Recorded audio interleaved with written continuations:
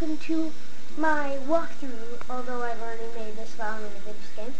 Anyway, we're gonna start off with something easy.